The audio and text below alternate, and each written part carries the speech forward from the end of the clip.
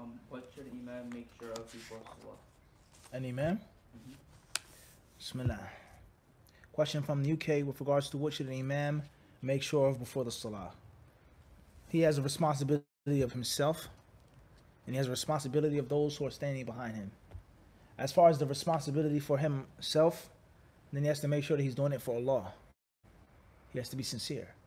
He has to check his intentions and then how he's going to raise his hands, keep his back straight, recite the Quran beautifully, etc. Only for Allah and nothing else. And he has to make sure, of course, that he has the necessary tahara. He has to make sure that he's covered properly, and not just the basic covering, but the extra as well. No imam of a masjid should just want to just do the basic necessities. You should have your head covered, even if it isn't obligatory.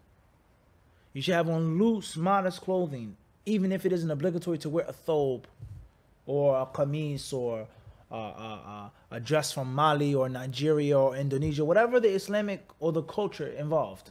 Clothing of the Muslims, which is loose. Doesn't have to be a Middle Eastern or Persian thobe for no one to come and say, oh, you guys just want to be like Arabs. I have my own culture. Whatever it is, it doesn't matter. Whether you come from West Africa, whether you come from Indonesia, Singapore, it doesn't matter. Whatever is the Islamic or Muslim clothing of that country that is loose and modest according to the Sunnah, you should make sure that your head is covered. Make sure that you're dressed comfortably. Make sure you're presentable. Make sure you're clean. You smell well. And you should use the toothstick, as we were just speaking about. Use the miswak, first and foremost, for Allah's sake.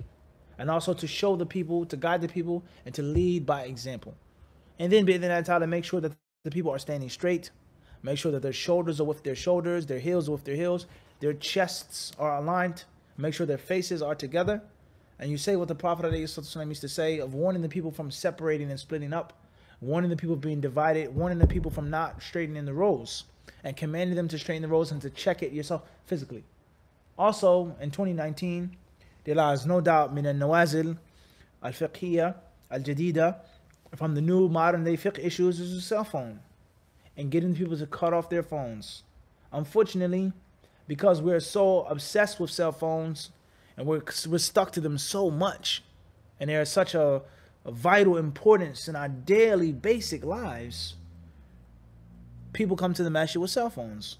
So it is your job to make sure that those phones are not ringing, whether it is music, whether it is some type of chime, ching, whatever, or whether it is a normal ringer.